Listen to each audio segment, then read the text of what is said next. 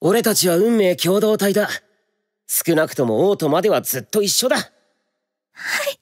全員生きてこの旅を終えましょう。ジェスの命を守るためそのために俺はいる。お前死ぬ覚悟はあんのか？あなた方は絶対に生きて幸せになってください。俺はジェスのシャビロンだ。すでに覚悟はあるこんなに誰かに近くにいていただいたことは初めてでした。やめろ。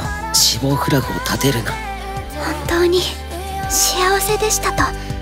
それだけはお伝えしたくて。まさかまだイエスまかりが。